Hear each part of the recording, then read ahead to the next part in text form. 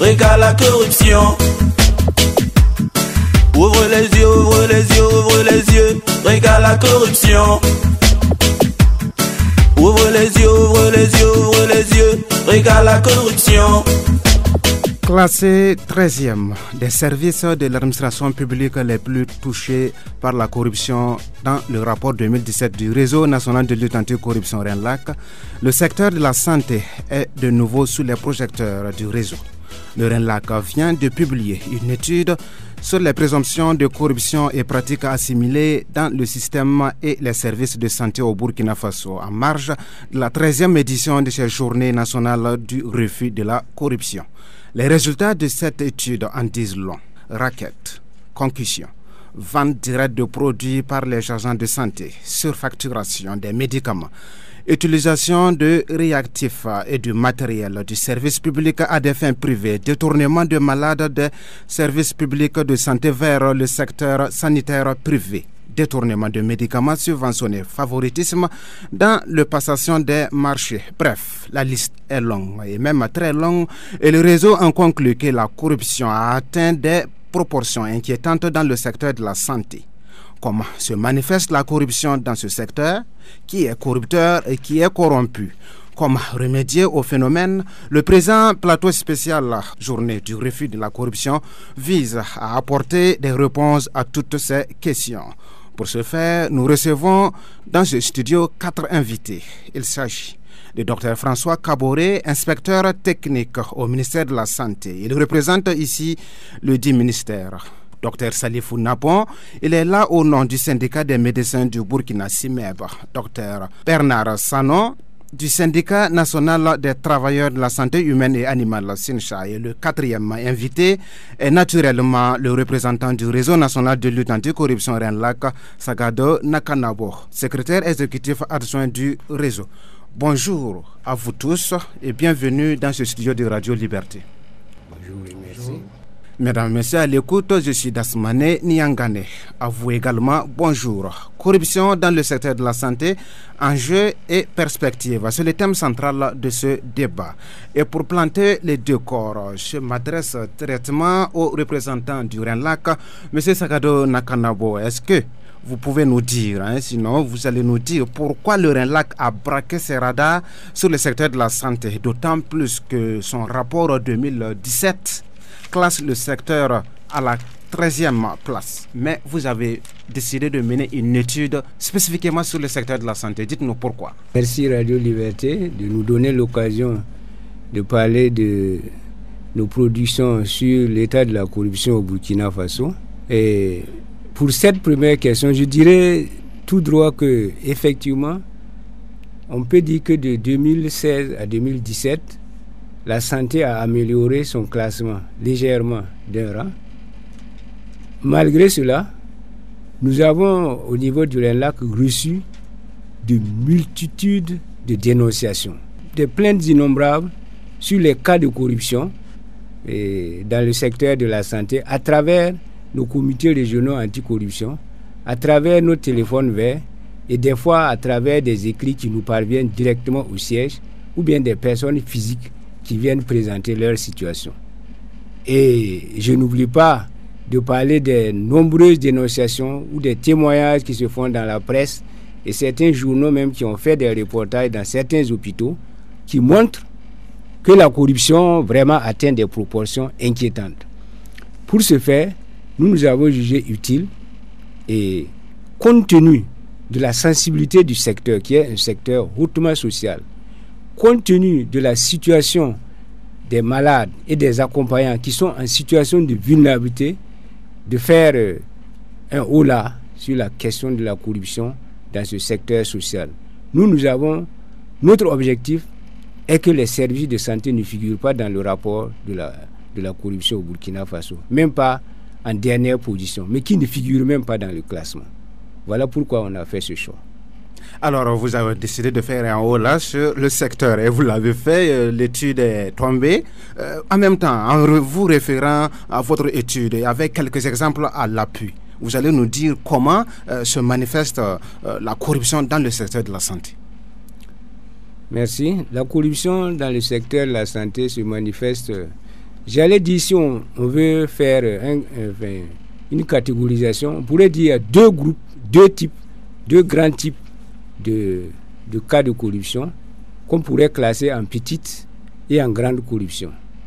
Nous avons de nombreux témoignages où les gens montrent que dans les hôpitaux, il y a des raquettes. C'est-à-dire il y a des personnels de santé qui demandent directement de l'argent à des malades ou à des accompagnants.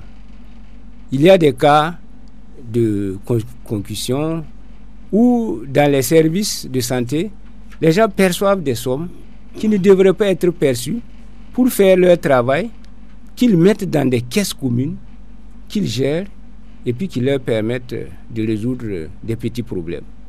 Ils ne se rendent pas compte qu'ils sont en plein donc dans la corruption. Il y a dans les services de santé, dans les laboratoires, des gens qui prennent de l'argent pour faire des, radios, pour faire des, des, examens, ou bien dans les, ou pour faire des radios, ou bien des gens qui sont dans les caisses qui, qui changent le coût des, des paiements à faire. C'est-à-dire quelqu'un doit venir payer par exemple 50 000, il s'entend avec le, le caissier, il paie 25 000, le caissier gagne quelque chose et il, il, il, va avoir un reçu qui lui permet d'aller faire son travail.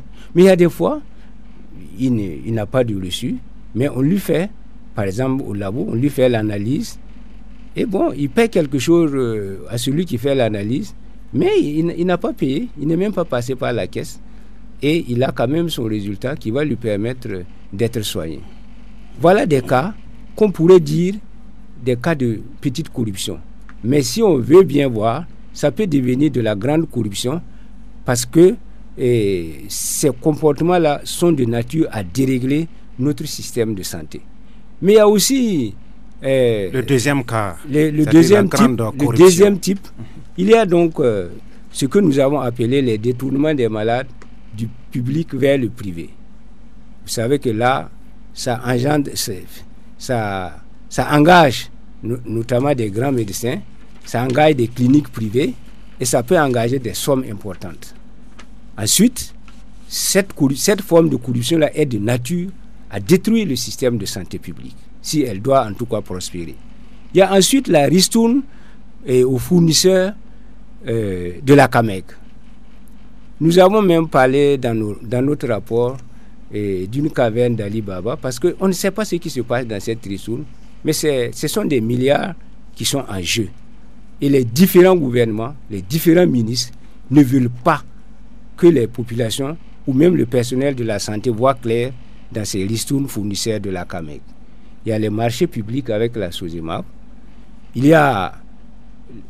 Et dans ces marchés publics-là, là aussi, c'est des milliards. Et ensuite, euh, ce sont des choses qui sont pratiquement incontournables. La SOGEMAB, c'est la société euh, de gestion de l'équipement et de la maintenance euh, biomédicale. Tout à fait. Allez-y. Il y a aussi des, des, cas, des cas assez importants de conflit d'intérêts. Et nous avons donné un exemple, et c'est à la Direction générale de la pharmacie médicale et des laboratoires. Parce que là, vous avez des personnels de santé qui sont incontournables, qui se retrouvent être au début et à la fin de certaines opérations. C'est-à-dire qu'ils sont décideurs, offreurs de services et, finalement, ils se retrouvent être juges et partis dans certaines situations.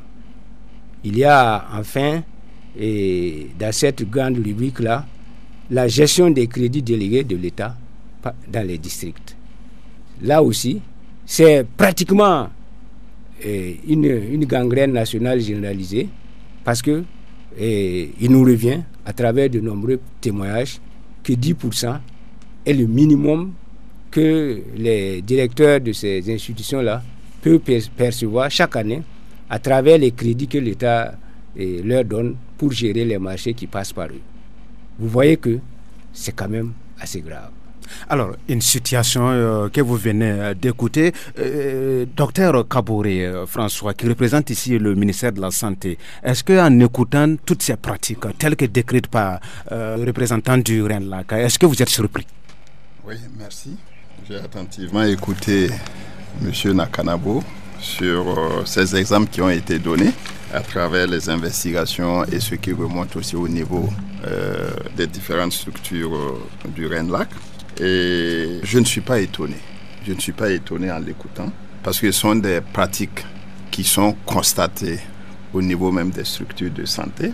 Comme vous le disiez tantôt, je relève du service euh, de l'inspection technique des services de santé. Donc il y a certaines informations qui nous parviennent. Et dans le cadre aussi de la collaboration avec euh, les structures du RENLAC et d'autres organisations euh, non gouvernementales et les organisations de la société civile, toutes ces informations remontent au niveau du ministère de la Santé. En dehors de ce canal, il y a aussi euh, certains prestataires, certains bénéficiaires des services de santé qui font des réclamations, euh, soit directement euh, au niveau du ministère, soit à travers les structures déconcentrées du ministère. Donc je ne suis pas étonné. Et nous, nous avons effectivement connaissance de ces pratiques-là. Et nous nous attelons à faire en sorte que elle soit minimisée et avec le concours de tout le personnel. Euh, alors, on va, on va poursuivre avec euh, les représentants des travailleurs, certainement euh, qui sont en contact plus direct avec euh, plusieurs concernés. Alors, des malades qui ne payent pas leur examen à la caisse ou qui payent des sommes inférieures aux frais euh, de prestation ou et sans reçu, il faut le, préciser, euh, tout comme d'autres qui payent trois fois plus le montant normal. Est-ce que vous avez été témoin parfois hein, dans l'exercice de vos fonctions ou en tout cas des témoignages au niveau de votre syndicat, le syndicat des médecins du Burkina, docteur Napon? Merci beaucoup, Monsieur Dasmani. Merci à Radio Liberté donc euh, pour l'occasion donc euh, qui nous donne cette journée donc de nous prononcer sur la corruption que nous définissons comme une maladie. Et pour nous, c'est une maladie d'ordre général. nous, dans notre jargon médical, on dira que c'est un problème de santé publique. Parce qu'un problème de santé publique, parce que pour un gouvernement, quand lorsqu'un gouvernement arrive à cerner le problème de corruption, ce gouvernement a de l'avenir et ça permet à ce gouvernement d'engager beaucoup d'acquis. Effectivement, euh, témoin, personnellement, je dirais non, mais à travers donc euh, les plaintes de part et d'autre des patients, les plaintes donc des accompagnants et également donc euh, à travers les radios, la société civile, nous savons effectivement qu'il y a des plaintes et il y a des problèmes en ce qui concerne donc la corruption dans le domaine de la santé. Mais personnellement, témoin, non. Merci beaucoup. Docteur euh, Sanon, alors ce n'est pas seulement les témoignages, vous pouvez vous prononcer également. Par exemple, quand on, on se rend compte qu'une intervention est taxée à 150 000 francs fois, alors qu'elle fait 45 000. Des situations pareilles euh, qui sont rencontrées dans le secteur de la santé. C'est un peu décourageant. Ok. Merci beaucoup. Euh, les syndicats se réjouissent d'avoir été associés pour traiter un thème aussi important qu'est la corruption, qui pourra s'apparenter à un programme Alors, il faut dire que en plus euh, des, plaintes, et en tant que praticien, quotidiennement, il y a des signes qui ne trompent pas. Quand vous recevez un malade qui n'a pas les moyens d'honorer l'ordonnance et les examens que vous prescrivez et qui prétend vous donner de l'argent parce que vous, vous êtes bien occupé de lui. C'est un signe qui prouve que ces patients est convaincu que en donnant de l'argent, on peut bien s'occuper de lui. Donc, ça c'est un exemple pour montrer que c'est des manifestations comme ça qui prouvent qu'effectivement la corruption est dans le secteur de la santé. Et quand on voit l'organisation du système de santé, depuis le CSPS jusqu'au CHU, rien n'est mis en œuvre pour empêcher la corruption. Premièrement, le budget de l'État burkinabé est connu. Mais pour savoir le budget d'un district, les accords de financement d'un district, ça relève d'un parcours de combattant. C'est classé obscur, top secret pour les responsables qui dirigent. Donc, vous voyez un peu des signes qui prouvent que effectivement dans la corruption, dans le secteur de la santé, la corruption existe bel et bien. Et vous êtes euh, témoin en tant que praticien En tant que praticien, on est témoin au quotidien des plaintes d'abord et des tentatives que les, populations essaient de faire, euh, voilà, qui sont en rapport avec la corruption. Pour ce qui est des, surfacturations par rapport à ce qui se passe, on dit que c'est un laisser-aller de l'administration. C'est-à-dire que rien n'est mis en œuvre pour sanctionner les, les coupables, parce qu'il arrive des fois où on arrive à, attraper des corrompus ou des gens qui ont, qui ont pris de l'argent ou autre, rien ne se passe après. C'est l'impunité totale. Et avec ça, tout est permis. Et donc, euh, comme ça se passe dans les secrets de la consultation, où c'est entre le patient qui est dans une position vraiment faible parce qu'il a la recherche de santé, et puis le, le praticien qui est comme le Dieu pour les patients, qui doit... Euh, donc, il peut exiger tout ce qu'il veut et en, en usant de sa position de force pour pouvoir abuser effectivement du patient. Alors, restons avec euh, les cas vécus, sinon les cas de, corruption. L'un des services qui a été en tout cas indexé fortement par le- l'étude du RENLAC, c'est au niveau euh, des services euh, des interventions euh, chirurgicales. Euh, pour le RENLAC, en tout cas, la plupart euh, euh, des services euh, de chirurgie fonctionnent comme euh, une mafia hein, autour euh, des interventions euh, chirurgicales. Tellement que c'est rentable euh, au, point que des malades même euh, se recrutent au début des CSPS pour les amener dans les centres où il y a euh, effectivement la chirurgie. Une pratique euh, nommée dans le milieu euh, hernie ou chirurgie euh, alimentaire euh, et qui serait connue du plus haut niveau du ministère. Docteur euh, Kabore, on se retourne vers vous. Vous êtes au courant. Oui, merci, merci. Nous sommes au courant. Nous avons des informations, nous avons vécu des cas et qui nous ont été signalés et pour lesquels nous avons entrepris un certain nombre de mesures. Euh, il faut dire qu'il y a un dysfonctionnement majeur qui est constaté au niveau de certains hôpitaux, sinon la plupart des hôpitaux que je connais. Et c'est la question du non-respect du circuit du malade. En principe, quand un malade rentre dans un hôpital, jusqu'à sa sortie, il y a une certaine traçabilité. On sait comment il est rentré, dans quel service il a été reçu, les soins dont il a bénéficié et jusqu'à sa sortie. Mais malheureusement, dès l'entrée, il y a des problèmes.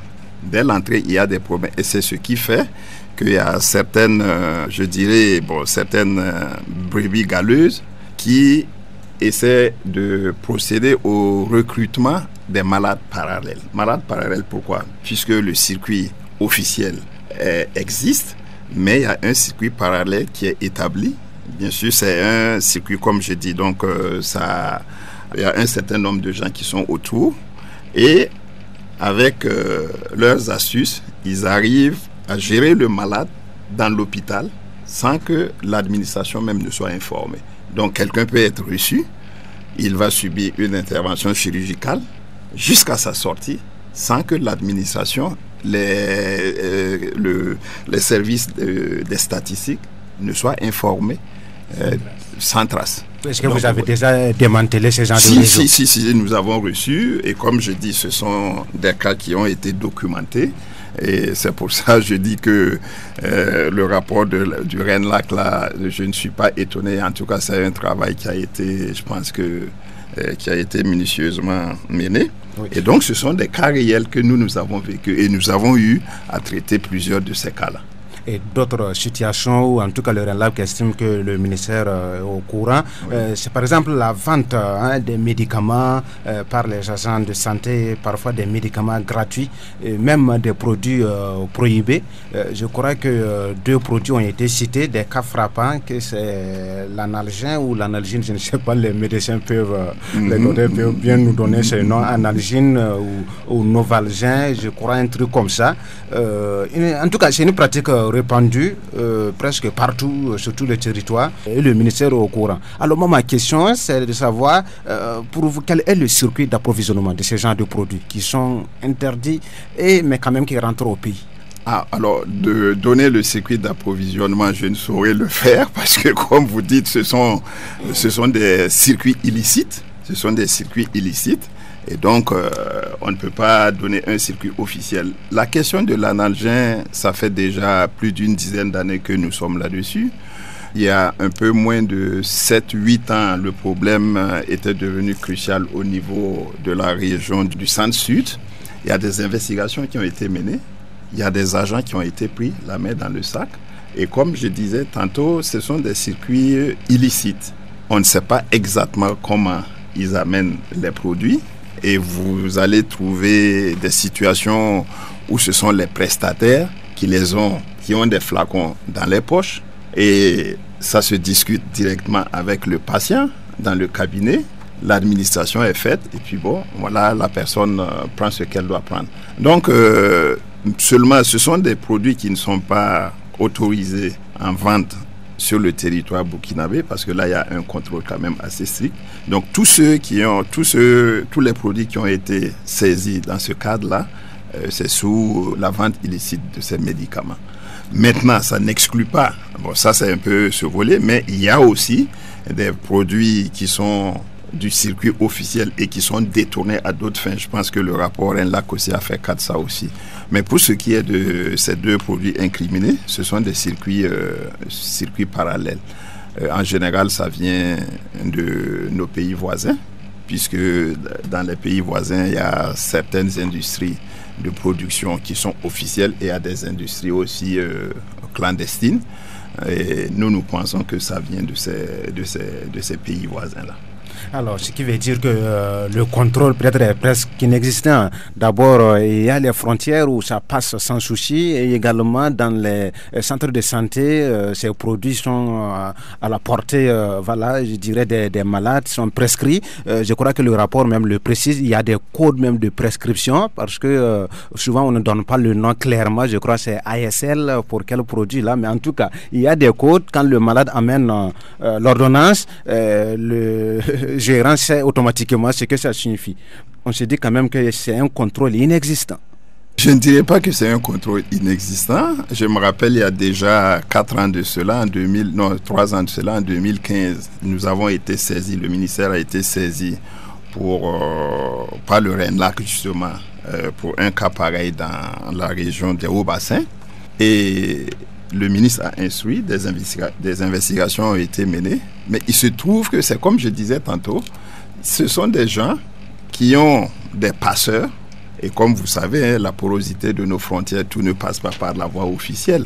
On peut les faire venir à vélo, on peut les faire venir à moto, on peut les faire...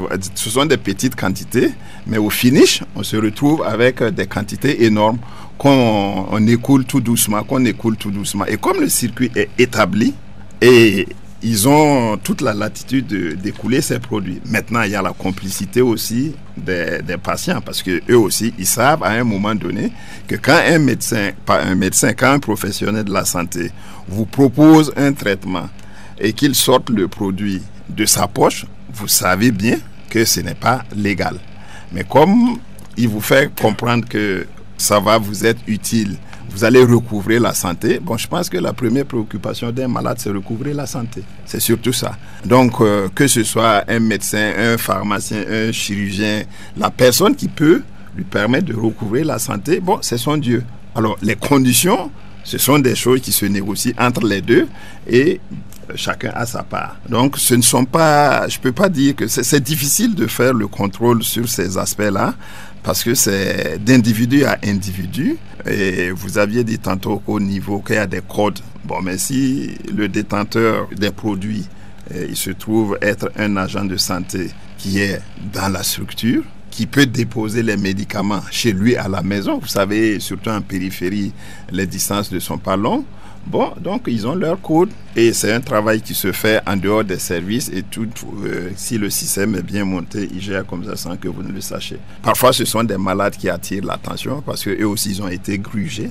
Mais sinon, c'est difficile, c'est difficile de, de prendre les gens, les mettre dans le sac. Oui, parlant par exemple euh, des détournements de malades qui impliquent euh, ici les agents de, santé de catégorie supérieure, là les médecins peuvent nous dire quelque chose. Est-ce que vous, vous en faites cas lors de vos rencontres par exemple au niveau des syndicats, des militants des syndicats qui en parlent, en tout cas des malades qui sont détournés vers d'autres secteurs de santé, notamment privés?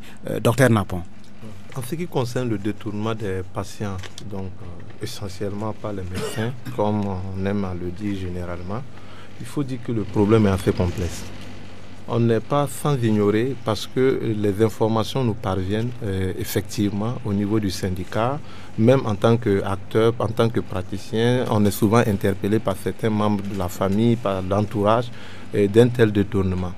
Mais euh, au fait, quand nous analysons au fond le système dans son ensemble, nous nous rendons compte qu'il y a tellement de porosité dans notre système que souvent il est permis beaucoup de failles.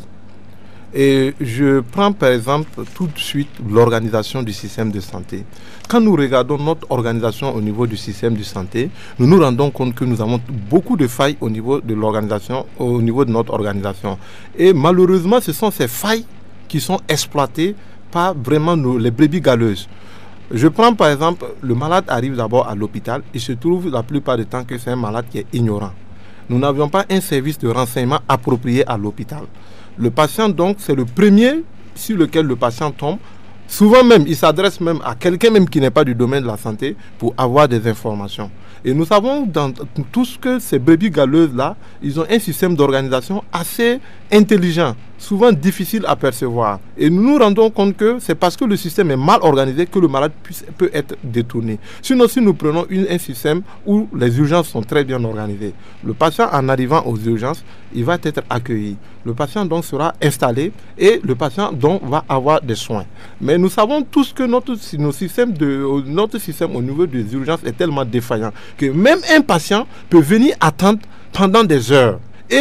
La plupart du temps, pour ce qui nous revient, c'est le patient même qui approche le praticien et qui lui demande est-ce que, comme je ne peux pas avoir les soins assez facilement, est-ce que vous connaissez une clinique où vous pouvez m'orienter pour que je puisse avoir les soins? Est-ce que l'attente n'est pas faite aussi à dessein pour que le malade puisse euh, venir vers euh, voilà, les agents et demander ce genre euh, voilà, de service? Justement, quand nous parlons ici de mauvaise organisation, vous savez, je comprends bien qu'au niveau du gouvernement, tout est priorité. Mais pour cela, on a des tests qui sont très bien écrits. Et je dirais même que dans la sous-région, le Burkina Faso fait partie des pays qui a le meilleur test. Mais on a un problème d'applicabilité de nos, de nos tests. Il suffit tout simplement que au niveau de l'hôpital, la direction de l'hôpital ou au niveau du gouvernement central, que des descentes, on l'a vu au moment de la révolution, on fasse des descentes inopinées. Parce que, quel qu'en soit un système, le système a beau être performant, il faut le contrôler. Parce que le contrôle permet d'identifier les problèmes et de prévenir, de pouvoir même trouver des solutions par avance. Parce que tout de suite, avec ce que vous nous dites, la plupart du temps, effectivement, c'est ce que les gens semblent nous dire. Moi, je prends mon exemple où je suis chef de service d'une urgence. Je le dis, ça n'a rien à voir de truc. Le nombre de malades que nous recevons par jour est assez énorme. Malheureusement, pour le fait que le système est mal organisé, ça veut dire qu'il se trouve que les hôpitaux, les grands hôpitaux se retrouvent à avoir des patients qui ne devraient pas être soignés dans des hôpitaux, qui devraient être soignés à un niveau inférieur. Donc, en ce qui concerne l'attente, elle n'est pas forcément stimulée par les agents de santé, mais le système favorise cette attente parce que le système n'étant pas bien organisé, le patient ne commence pas par la base.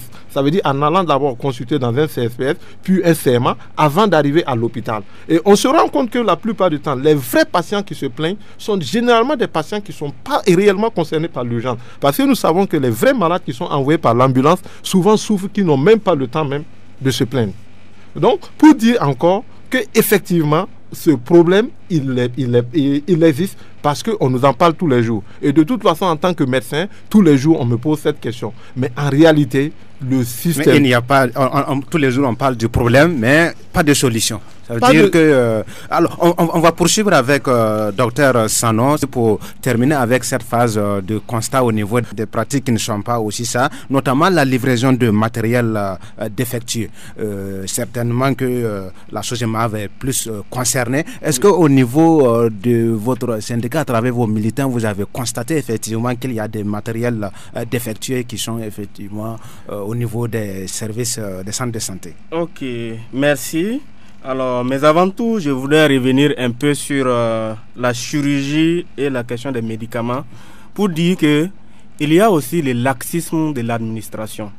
Quand vous prenez un district où le premier responsable ne rentre presque pas au bloc, laisse le bloc à d'autres agents. Il peut faire des mois, il ne rentre pas. Ce qui se passe là-bas, c'est pas son problème. Il est dans son bureau. Il est dans son bureau, il est en train de chercher les perdièmes d'atelier, au cours d'atelier en atelier. Je pense que sûrement. Ah, il n'est même pas présent au niveau même pas présent. du service. Voilà, il n'est même pas présent. Même quand il est présent, c'est pas son problème.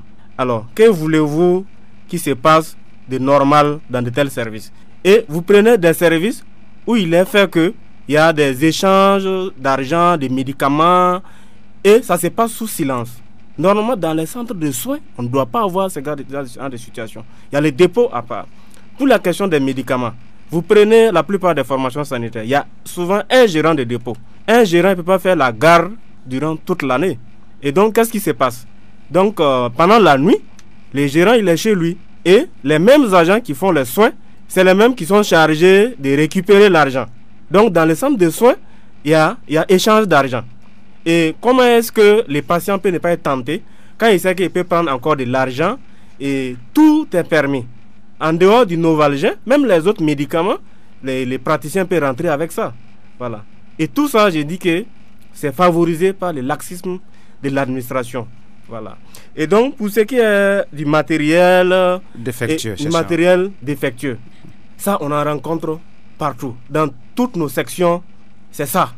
C'est de ça que les, sections, les sections du SINJA, les revendications, ou c'est des matériels qui ne sont même pas livrés. Voilà. Parce qu'on peut commander du matériel, on dit effectivement, vous avez eu tel matériel, mais le matériel n'est même pas là. Ça, ça existe toujours au Burkina Faso. Ou c'est des matériels qui n'est pas adapté qu'on ne peut pas utiliser. Ça, c'est vraiment fréquent dans nos centres de santé. Et pour nous, c'est le fait qu'on n'associe pas suffisamment les partenaires sociaux. Voilà. Il y a y a, la mafia est organisée entre ceux qui ont la capacité de faire les commandes, notamment pour les marchés publics. Le fait que les syndicats ne soient pas associés, on ne sait pas ce qui se passe. Et un beau jour, on débarque avec du matériel. Vous constatez que vous ne pouvez pas utiliser. Et ça fait des pertes. Alors, euh, on allait euh, continuer avec euh, l'impact et autres points, mais docteur Napon souhaite se prononcer sur le matériel défectueux, oui. Ou le matériel défectueux. Très rapidement. Il faut dire que c'est un gros, une grosse épine qu'on a au niveau du système de santé. Et d'ailleurs, c'est l'un des, éléments, des éléments qui fait que la chirurgie a un gros problème. Quand nous prenons le matériel défectueux, il faut dire que le système pour acquérir le matériel au Burkina Faso n'est pas bon. Si nous devons considérer dans le système de santé le système de moins 10 ans, en disant que lorsque on doit commander un matériel, il faut donc prendre dans le marché le moins 10 ans, on aura toujours des problèmes de matériel défectueux.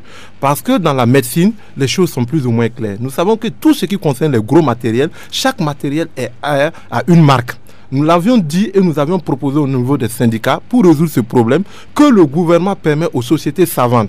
Parce que nous avons aujourd'hui plusieurs sociétés savantes. Les sociétés savantes sont des regroupements de médecins où on a des spécialistes qui sont là-dessus, là-dedans, que chaque société savante propose dans sa spécialité au moins deux matériels de marque où le gouvernement peut faire une commande directement au niveau de ces différentes structures de marque. Et nous savons que quand cela est fait, ça permet le suivi automatique. Parce que quand les gros matériels sont commandés, ces grandes maisons viennent s'implanter pour suivre le matériel. Donc, ça nous permettra de gagner. Et vous n'êtes pas, en quelque sorte, vous n'êtes pas écouté. On n'est pas écouté. Docteur Kaboré, c'est ça? Vous êtes certainement imprégné euh, de ce problème de matériel défectueux. Oui, la question de l'équipement mhm. dans les hôpitaux, c'est un gros problème au niveau du ministère de la Santé, c'est vrai. Et nous perdons des, je dirais, les pertes s'évaluent en termes de milliards. En termes de milliards. Il y a des équipements qui sont livrés.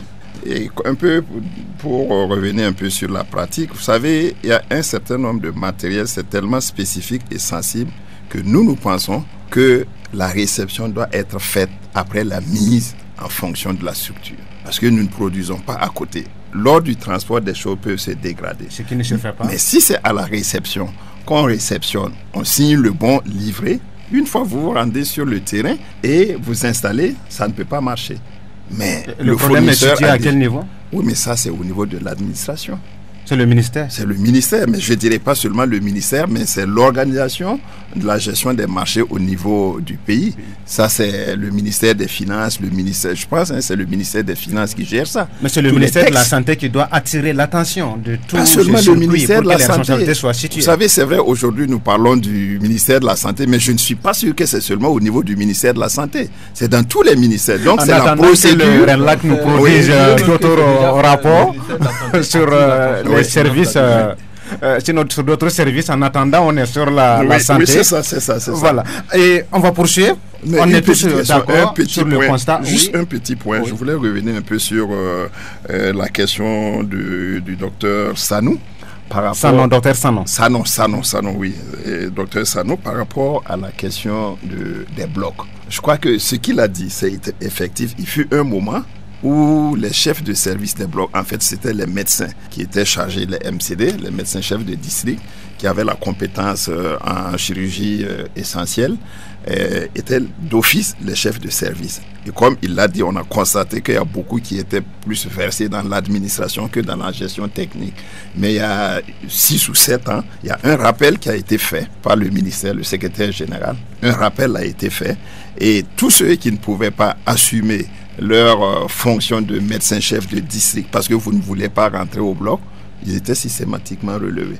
Ce qui veut Parce dire que, la première les instructions ne sont pas suivies, puisque tel que le docteur Sanon a expliqué jusqu'à ce jour. Oui, il fut un moment, puisqu'il a parlé du laxisme, c'est vrai qu'il y a certains qui n'avaient aucun contrôle sur les blocs parce que c'était pas leur préoccupation. C'est vrai. Il fut un moment où c'était en tout cas c'était le constat et c'est par rapport à ces constats-là que le ministère a interpellé et d'office il, il, y a des instructions avaient été données que tous les responsables des blocs devaient permanemment occuper leur place au niveau des oui, blocs. On, va pousser, on n'a pas suffisamment de, temps. on n'a suffisamment pas de temps parce qu'on a déjà mordi suffisamment notre temps.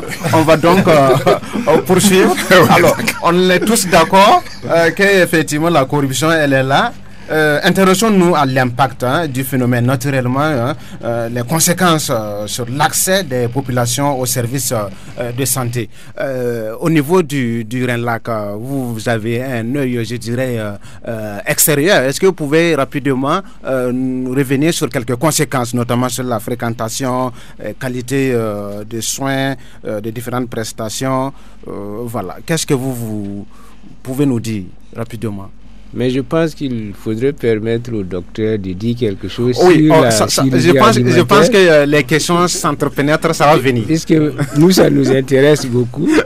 Allez-y. Mais je voudrais dire que, avec tous les mots que ceux qui sont sur le plateau sont en train de dénoncer, vous comprenez que ça fait que le, notre système de santé n'est pas attrayant, pour euh, notamment la santé publique.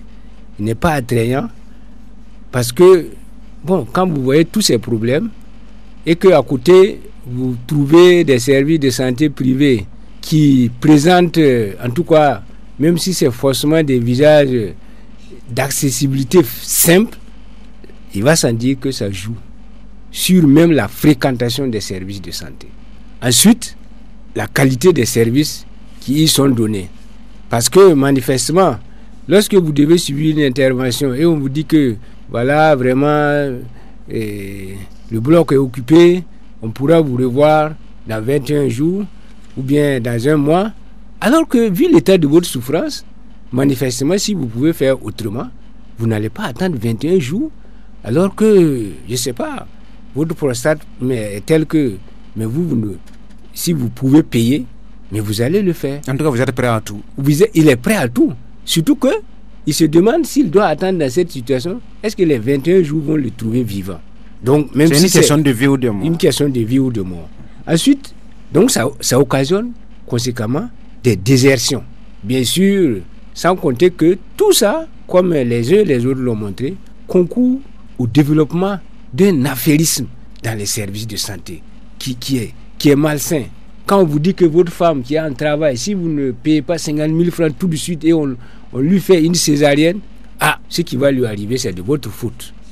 Vous voyez l'état psychologique et dans lequel on met, et j'allais dire, le propriétaire du malade.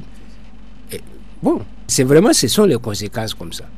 Et franchement, notre système de santé est en train de perdre du crédit. Alors que ce système-là regorge des personnels les plus compétents. Et c'est même ces personnels-là qui animent les formations privées. Parce que dans l'étude, on voit que les formations privées, il y a des formations privées même qui n'ont même pas de personnel.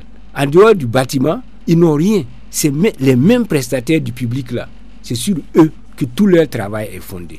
Et ces prestataires publics qui vont au privé, des fois, eh, c'est pas pour leur donner raison, mais quand vous voyez l'état dans lequel vous travaillez et que vous trouvez des conditions de travail un peu plus acceptables ailleurs, humainement, vous êtes tenté d'aller vous réfugier là-bas.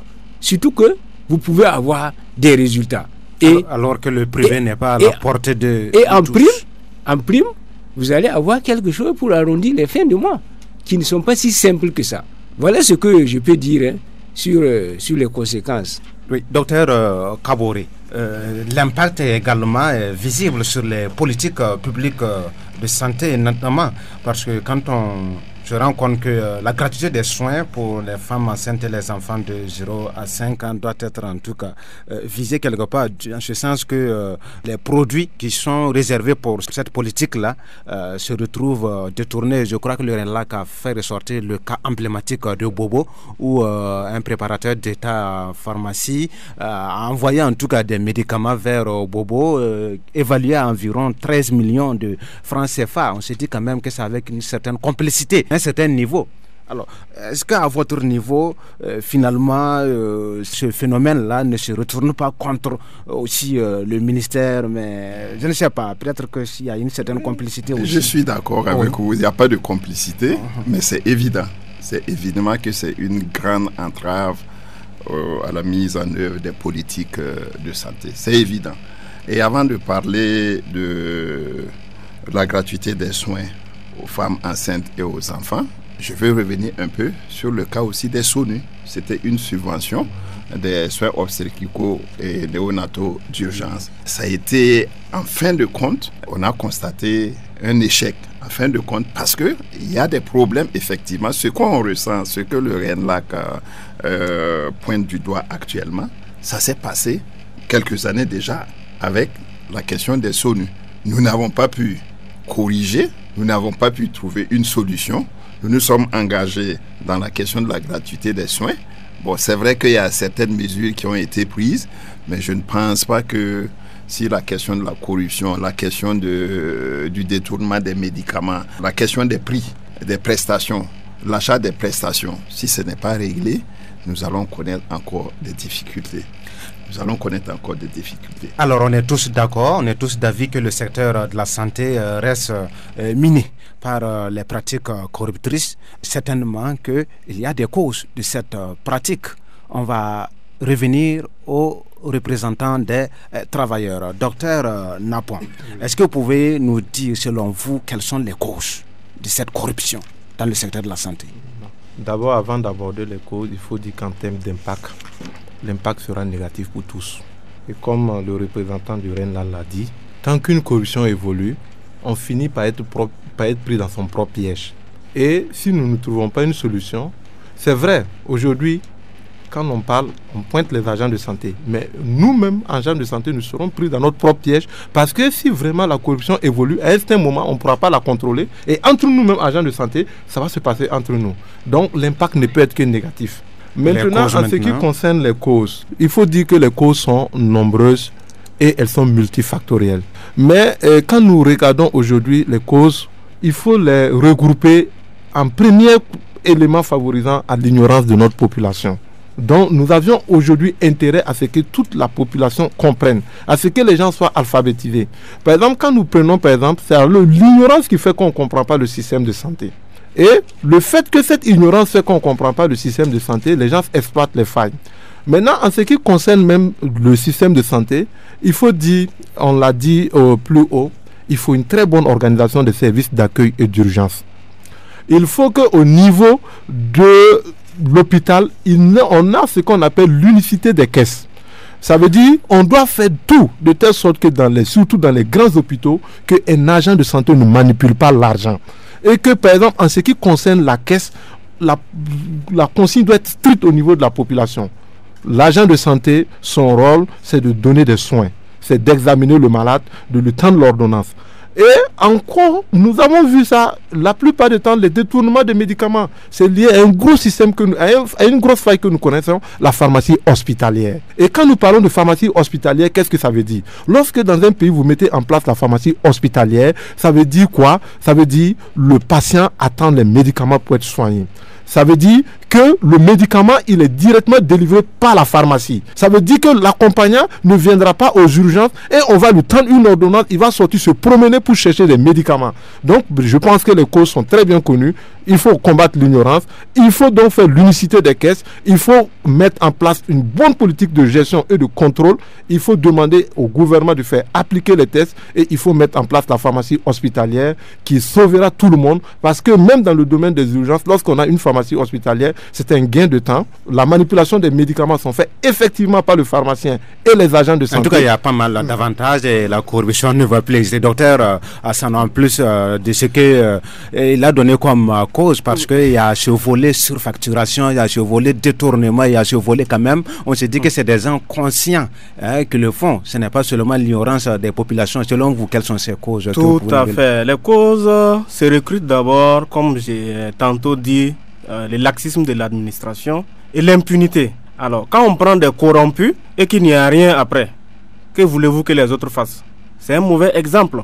Et c'est l'impunité dont bénéficient les corrupteurs et les corrompus qui encouragent ces phénomènes.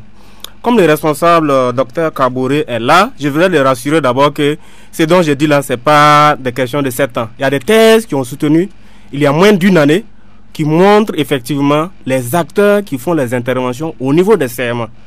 Et les médecins ne sont pas bien classés là-bas, alors que c'est eux qui sont censés être les premiers responsables au niveau de ces CMA. Et parmi les causes, vous avez l'inefficacité de l'inspection des services de santé. Parce que nous ne voyons pas l'impact des différents rapports. Comme le responsable là, sûrement, il va revenir là-dessus. Il y a plusieurs rapports, ils viennent souvent, souvent ils ne viennent pas, mais vraiment on ne voit rien. Euh, voilà, c'est totalement inefficace. Et comme autre également, vous avez la faiblesse globale de l'offre de soins. Voilà. Quand y a, tout est désuet, donc vraiment les patients, et ça ouvre la porte à de la surenchère un peu partout et qui explique également euh, la, corruption. Les mauvaises conditions de travail, les mauvaises conditions de vie et de travail peuvent être également des causes. Et l'une des causes qui me semble être la plus préoccupante, c'est la politisation de l'administration. L'administration est politisée, voilà. Un poste de nomination, il faut être à des communs d'accord avec les premiers responsables, être dans les mêmes partis que lui, etc. etc. du, CSPS jusqu'au CHU, c'est comme ça.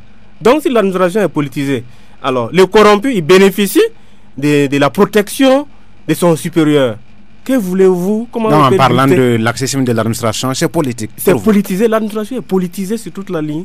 C'est ça qui encourage effectivement la corruption. Donc, euh, c'est ainsi ramassé. Ok.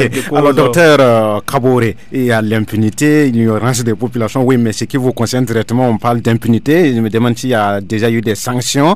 Euh, il y a aussi l'inefficacité hein, des, services d'inspection. Vous êtes inspecteur, ça tombe bien. Finalement, vous êtes impuissant ou complice de cette situation, les causes? Non, disons que de façon globale, c'est les insuffisances de l'administration publique de façon globale. C'est les insuffisances de l'administration publique. Et ensuite, ça c'est mon point de vue, c'est le manque de décision politique. Alors, parlant de l'insuffisance, vous voyez, on a parlé d'un certain nombre de choses. Quand je parle par exemple de l'insuffisance du personnel qualifié, il y a des gens qui sont amenés à faire des choses dont ils ne sont pas qualifiés. Tout simplement parce que euh, le personnel manque. Il y a des gens qui font euh, des, qui assument des fonctions incompatibles. Il fait un moment, vous êtes régisseur de recettes et vous êtes en même temps régisseur d'avance. C'est vous qui encaissez, c'est vous qui dépensez. Tout simplement parce qu'il n'y a pas suffisamment de personnel. Donc ce sont des facteurs et avec l'argent, il y a toujours la tentation. Il y a la question de surcharge de travail. Vous êtes une personne qualifiée à un poste, vous devez recevoir 200 personnes, je n'exagère pas. Vous avez peut-être euh, une vingtaine, une trentaine de personnes à recevoir. Vous êtes épuisé, vous vous retirez à la maison. Les gens estiment qu'il faut venir à la maison, vous, faire vous donner des petits cadeaux. Ça, c'est une forme de corruption. Ils ne le font pas parce qu'ils veulent vous corrompre, mais parce qu'eux, ils ont besoin d'être pris en charge. Il y a l'inefficacité du contrôle interne dans toutes les structures. Là, c'est l'inspection. Non, je dis dans toutes les structures. Avant que l'inspection n'intervienne, toute administration doit avoir un contrôle interne. Il y a des choses qui se passent dedans. Vous avez un chef de service financier pour gérer l'argent, mais vous deviez avoir aussi des structures pour contrôler est-ce que les choses se font bien en interne. il n'y a pas de contrôle. Voilà. Et au on niveau dit c'est l'insuffisance du contrôle interne. On regarde, euh, bon, tout le monde dans la structure sait que telle chose se passe, mais personne ne prend une décision. Ensuite, maintenant, pour ce qui est du cas de l'inspection technique, vous savez que les inspections sont un peu dans toutes les structures. Bon, je parle de, principalement du cas du ministère de la Santé. Et il y a un problème. Quand vous devez quitter Ouaga pour aller faire un contrôle à Mangodara ou à Safané, vous voyez un peu ce que ça fait.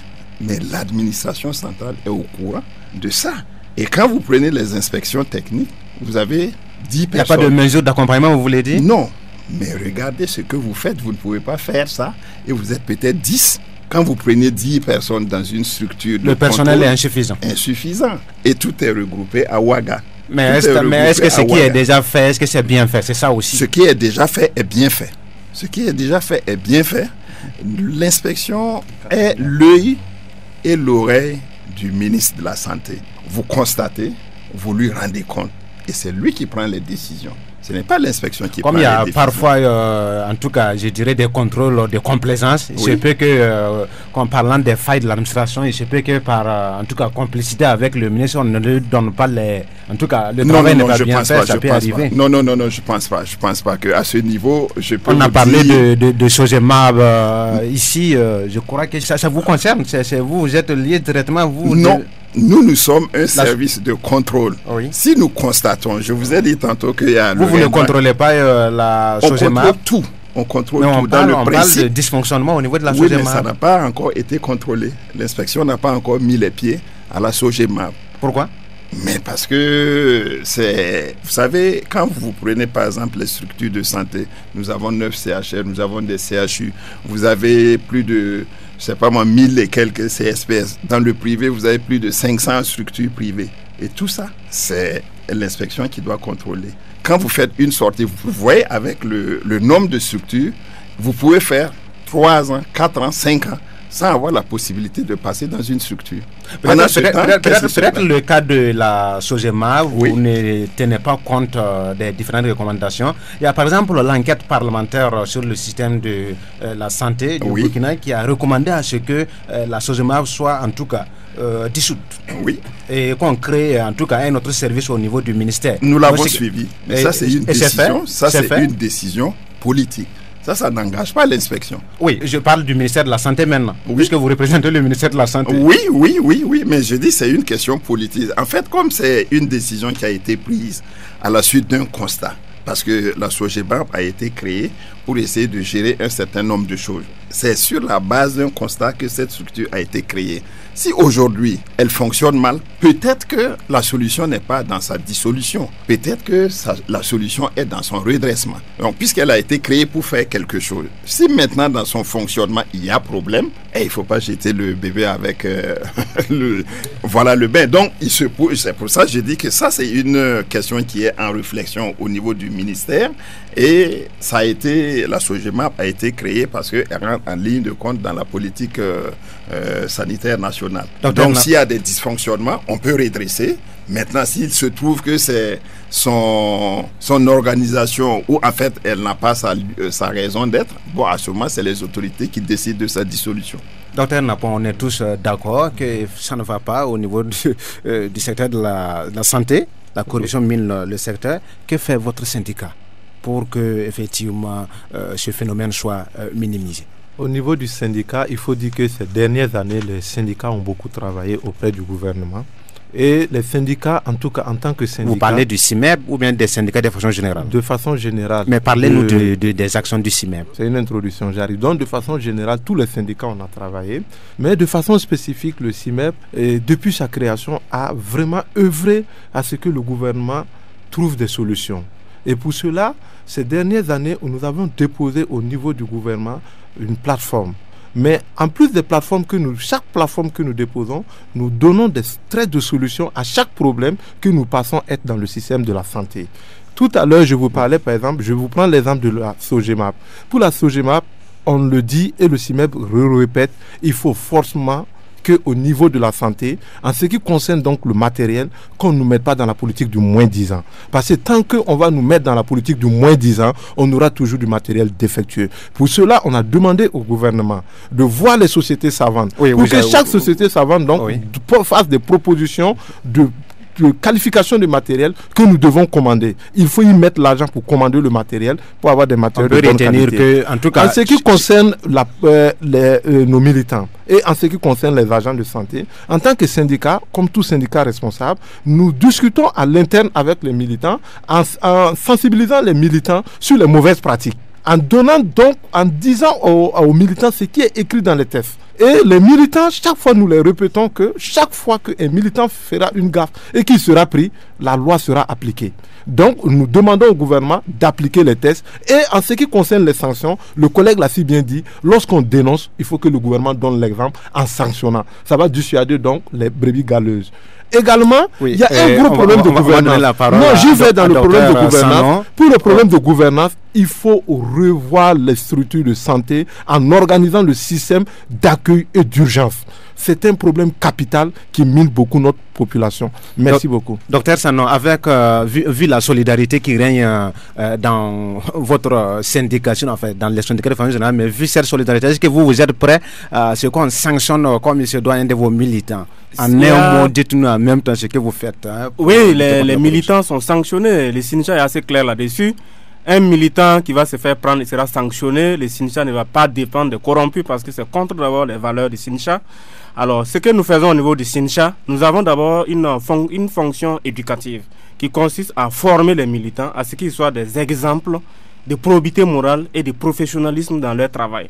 Ça, nous faisons et le Sincha fait des sorties dans toutes les sections, donc dans toutes les provinces, chaque année et il y a des conférences qui sont organisées. Et les sections organisent également des conférences, des activités de formation et d'interpellation de l'ensemble des militants. Ça, c'est ce qui concerne la fonction euh, éducative. Pour ce qui est de la fonction revendicative, nous avons un point de revendication, un grand point de revendication que nous intitulons le rôle des agents de santé et dans le contrôle et, de la, et la gestion des formations sanitaires, à savoir qu'on implique les SINCHA. Alors, quand vous prenez au niveau du bureau national, il y a un ensemble de revendications qui sont là. Notre implication dans la, dans la gestion des marchés publics, etc. Mais quand vous rentrez dans toutes les sections, les revendications sont là. Des cas de corruption sont révélés, mais il n'y a pas de sanctions. En un mot, en tout cas, tout se trouve dans vos plateformes revendicatives, oui. que ce soit le CIME ou le SINSA. Oui. Tout est là-bas. Tout est là et de façon concrète sur le terrain, nous travaillons à ce effectivement, à lutter effectivement contre la corruption. Dans toutes les sections, vous, avez, vous, vous entendez sûrement des cas de corruption qui sont dénoncés. Malheureusement, vous n'êtes pas euh, écouté, vous parlez euh, de manque de sanctions. Oui. Je me retourne vers le docteur Kabouré. Est-ce que vous pouvez nous dire quelle est l'approche anticorruption du ministère de la Santé? Euh, Merci. au niveau du ministère de la Santé, je voudrais juste un petit rappel. En mai 2006, il y a eu l'adoption de la politique nationale de lutte contre la corruption au niveau du gouvernement. Donc, euh, à partir euh, de cette politique-là, le ministère de la Santé s'en est inspiré et a élaboré un plan sectoriel de lutte contre la corruption. Ça, c'est ce plan existe. Ce plan existe. Ce plan existe. Mais n'est pas mis en œuvre. Il n'est pas encore mis en œuvre. Pourquoi? Non, mais parce qu'on n'a pas suffisamment de. par manque de ressources financières, par manque de ressources. Manque de, manque de moyens. Manque de moyens. Manque de moyens. En attendant, le phénomène sévit. Oui, mais en attendant, on fait autre chose. Ce n'est pas, tout n'est pas calé seulement dans la politique sectorielle. Ben, avant même cette politique sectorielle, il y a des activités qui sont menées dans le cadre euh, de la lutte contre la corruption. Je voudrais dire une chose aussi qui est très importante parce que euh, la perception, nous, nous sommes, euh, comme je disais tantôt, nous sommes l'œil et l'oreille du ministre. Nous lui rendons compte de tout ce qui se passe. Maintenant, à lui de prendre les décisions qui s'y est. Donc, euh, docteur nous disait tantôt que l'inspection, on les voit parfois, on ne les voit pas parfois. Et comme je vous ai dit, l'étendue du territoire est tellement grand qu'on ne peut pas être présent à tous les niveaux. Il y a des propositions qui avaient été faites avec... Euh, là, quand ça arrive au niveau du ministre, là, ça devient politique. Euh, maintenant un politique. Bon, je ne dirais pas politique. Puisque le technicien a fait son travail. Oui, Le technicien a fait son travail. C'est au Le niveau reste- politique. Oui, c'est au niveau politique. Mais je veux dire aussi qu'il y a eu des sanctions. hein. Il y a des gens même qui ont été révoqués. Mais des sanctions qui ne sont pas, euh, je dirais, si. euh, exemplaires, sinon euh, dissuasifs été- du moment où le phénomène continue euh, Oui. d'aller comment, de façon crescendo. S'il y a des sanctions, Oui. ça devrait servir. Quelqu'un a parlé d'ici d'impunité. Je suis d'accord. De façon générale, de façon générale, il y a une impunité qui règne. Ça, c'est clair, c'est un constat. On ne va pas spéculer là-dessus. Oui, oui, vous l'avez dit, il y a un Oui. plan anticorruption qui n'est pas mis en œuvre. Oui, Et il y un a, plan il y a- sectoriel il y a- de il y a- il y a lutte des lois, euh, il n'y a pas de, de textes euh, spécifiques, en tout cas des textes de loi euh, spécifiques à, à la lutte contre la corruption. Mais il y a tout de même l'existence de codes de déontologie euh, pour chaque euh, corps de, métier, n'est-ce pas? Oui, il y en a. Seulement, euh, en tout cas, les valeurs fondamentales, euh, je dirais, euh, des différentes profe- professions ne sont pas euh, peut-être respectées. Sinon, Non, ça mais ne ça, c'est pas. Au niveau du personnel. Ça, c'est les codes de déontologie ont été adoptés en 2012. En 2012, et ça par, des textes de loi. Et puis les décrets, je pense que les décrets ont été pris en 2014.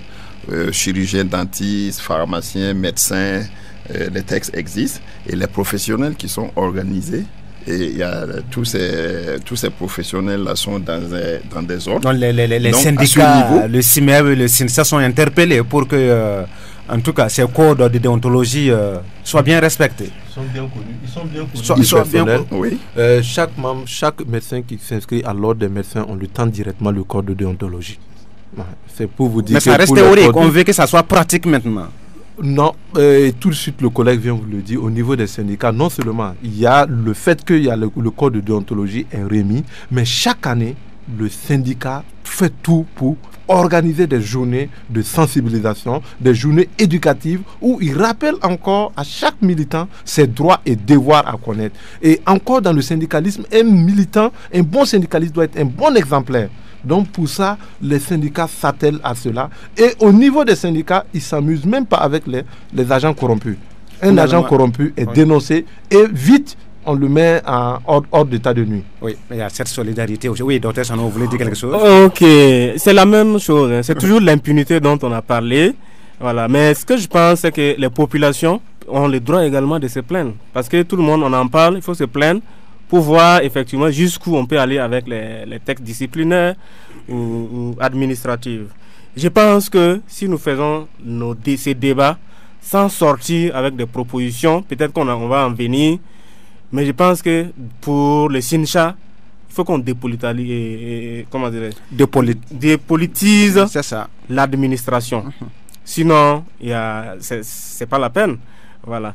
Il faut que, au niveau de l'administration, qu'on cesse également de sanctionner les travailleurs honnêtes. Ça veut dire que le travailleur qui est honnête, qui travaille bien, c'est lui qui est sanctionné. C'est lui qui combat la corruption, c'est lui qui est sanctionné plutôt que ceux qui sont corrompus. Vous voyez Et ensuite, il faut, il y a, il y a tellement de cas qu'on dénonce. Comme on a dit, l'inspection, bon, ils disent qu'ils travaillent, mais sur le terrain, franchement, et on sait que souvent ils font des rapports, mais on, on ne voit vraiment pas l'effet. Il faut effectivement que cette inspection-là arrive à, à- à- à produire. Les politiques aussi doivent prendre. ouais. Il faut également une bonne gouvernance, une gouvernance vertueuse au niveau des structures Oui, on de tend, santé. on tend- on tend vers la fin. Docteur, docteur en termes de, de propositions, pourquoi au niveau du ministère, euh, par exemple, le gouvernement ne travaille pas à imposer des choses aussi simples hein? Par exemple, au niveau des différents services, euh, on peut afficher. Hein, les prix euh, des différents postes de tarification, à savoir les consultations, je crois, les interventions euh, chirurgicales qui sont revenues tantôt ici, les examens, tout ça. Euh, comme ça, les citoyens en ont connaissance et voilà, ils peuvent, sinon ils ne se feront pas abuser. Mais des choses vous. simples comme ça, on dirait que ça n'existe Je pas. suis d'accord avec vous, mais c'est comme je disais tantôt, ça se fait. Les prix, ce sont des mesures qui sont obligatoires. Quand vous allez dans un dépôt de médicaments, il y a une exigence que les prix soient affichés. Ça se fait. Mais ce n'est pas l'inspection qui peut suivre ça le jour le jour. Voyez, donc c'est pour ça que je vous ai dit quelque part qu'il y a au niveau de l'organisation même de nos structures l'inefficacité du contrôle interne. C'est déjà ça. voilà l'inefficacité du, du contrôle interne et maintenant l'inspection vient de temps en temps pour voir est-ce que les choses se passent bien. Quand j'ai parlé tantôt de il y a une question, pas une question, un point qu'il a soulevé, c'est la allez- participation. vous allez ajouter Oui. rapidement vos Oui. propositions s'il y en Oui, a, d'accord. parce qu'on a la, fin question carrément de l'émission. C'est la question de la participation citoyenne. Et je pense que ce que le RENLAC fait, ça, ça va dans, un peu dans ce sens-là, c'est d'amener les gens, les bénéficiaires des services de santé, à pouvoir dire en retour, il y a telle chose, telle chose, telle chose. Parce que si on reste seulement Là, vous êtes en train de, parler de la veille citoyenne la veille des populations. La veille citoyenne. Et dans cette optique-là, il y a déjà quelque chose qui a été fait, oui, qui, qui, sont faites euh, au niveau du ministère de la Santé. Il y a les sensibilisations qui sont faites au niveau de toutes les régions, au niveau des écoles. Donc, on donne déjà les BABA aux, aux futurs personnels de la santé. Il y a des animations euh, qui vont être faites. On est sur un dossier qui va prendre, euh, qui va commencer peut-être en 2018. Ça, c'est l'unité de, on appelle ça l'unité de service à la clientèle. Donc, ce sont des structures, sont des structures que nous allons mettre en place au niveau de tous les hôpitaux et permettre aux gens de faire recours à, à ces structures-là pour qu'à travers ces structures, nous, nous recevons les plaintes des, de ceux qui fréquentent les hôpitaux. Mmh, et de boîte à idées, voilà. Donc, je pense qu'il y a un aspect éducatif, il y a un aspect sensibilisation et puis maintenant la, la, la sanction euh, vient après ça. Ok, alors on va aller avec euh, docteur euh, Napon, s'il a une petite proposition à ajouter. concerne les propositions, nous revenons là-dessus. donc, premier mot, le premier mot, organisation organiser donc les services de santé en commençant donc à mettre en place un bon service de renseignement, de telle sorte qu'il y ait un service qui renseigne bien le malade pour lui indiquer ce qu'il doit faire à l'entrée de l'hôpital.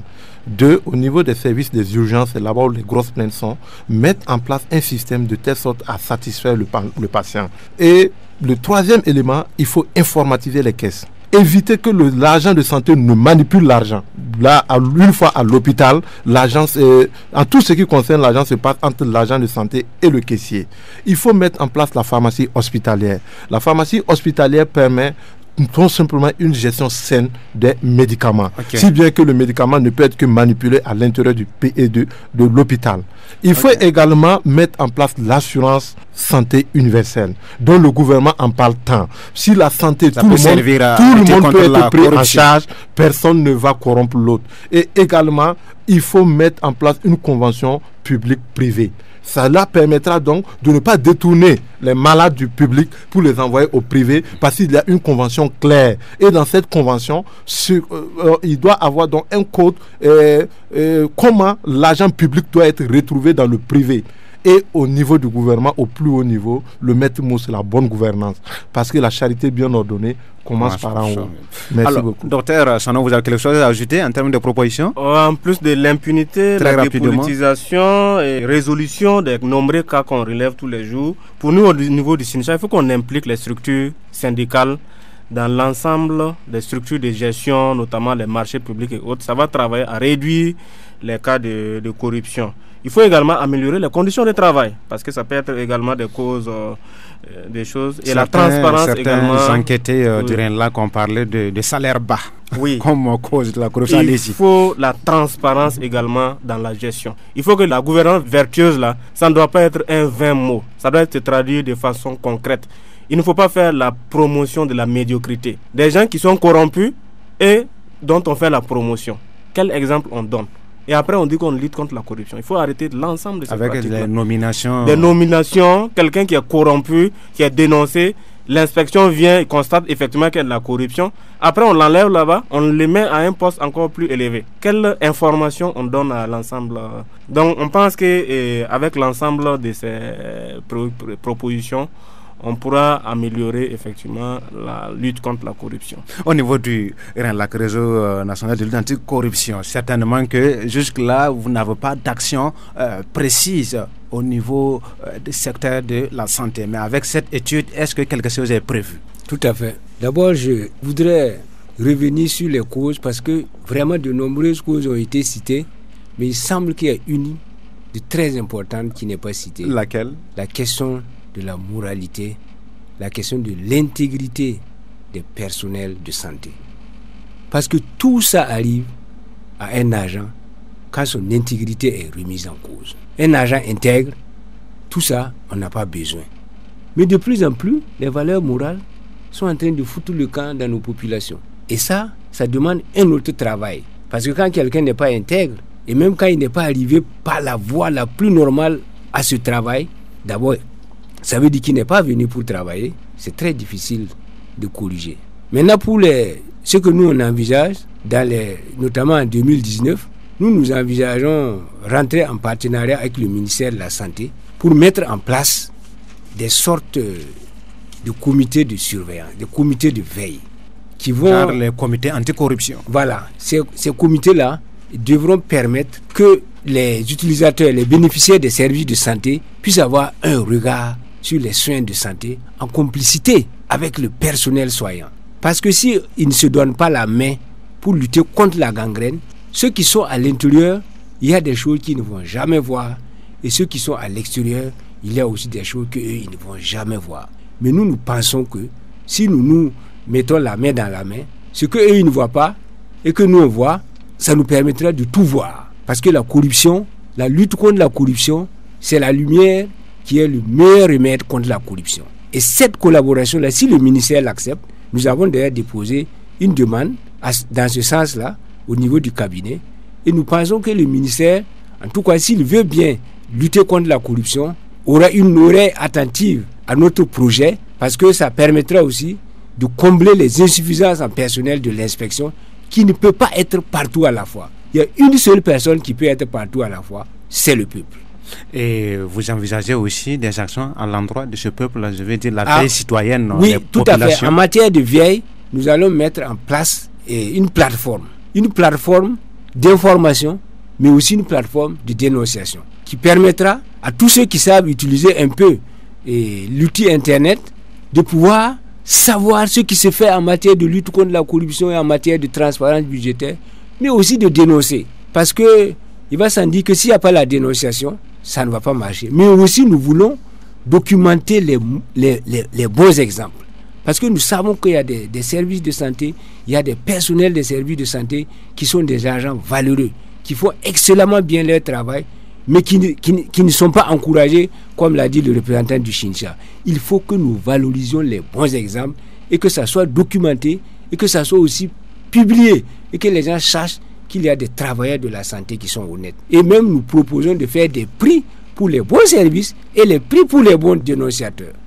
Merci, merci. Euh, nous sommes euh, malheureusement au terme du temps imparti, hein, du temps qui nous était euh, imparti pour cette émission. On va donc s'arrêter là pour ce débat. C'était le plateau spécial, je dirais, en marge des 13e journée nationale du refus de la corruption, organisée par le réseau national de lutte anti-corruption. Très rapidement, ces journées partent de quand à quand? Ces journées vont du 1er décembre au 10 décembre mais avec des marges d'erreur. Parce que lorsque nous avons programmé une conférence à l'ENSP, il peut se trouver que le programme de l'école ne permet pas de cadrer la conférence dans ce délai. Si la conférence doit aller au-delà du 10, nous sommes tout à fait partants. C'est ça seulement la seule contrainte. Mais la journée même internationale du refus de la corruption, c'est le 9 décembre. Et là, nous travaillons en synergie avec l'ASE, le RAGIT et puis l'OJD. C'est des structures de lutte contre la corruption. Et nous allons faire des déclarations presque partout dans les médias. Nous comptons beaucoup, en tout cas sur euh, la participation, parce que j'ai été tout à fait ravi du débat interne entre les, le personnel de la santé et j'étais un peu à l'affût comme un observateur. et je pense que notre rapport va faire vraiment et, un bon parcours dans les services de santé durant l'année 2019.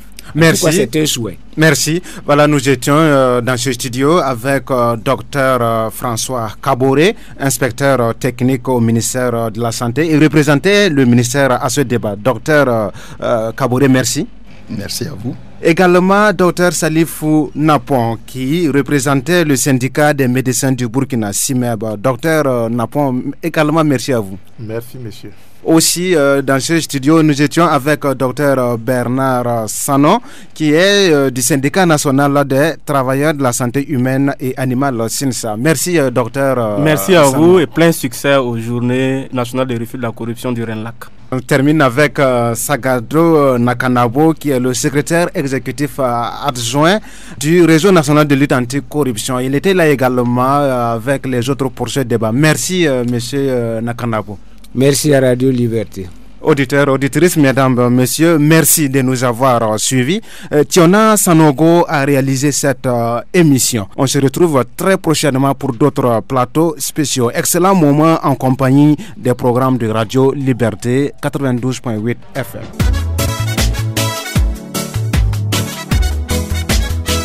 Ouvre les yeux, ouvre les yeux, ouvre les yeux, regarde la corruption.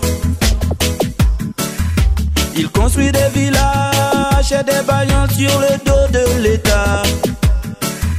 Il bloque des dossiers pour des pots de vin, c'est ça le système. Un système corrompu est un système foutu. Une justice corrompue est un danger pour la nation. Monsieur le Président, si vous les laissez faire, le système tombera sur vous.